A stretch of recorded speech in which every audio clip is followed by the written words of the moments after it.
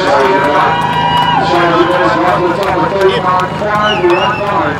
So he's also posted his fastest by uh,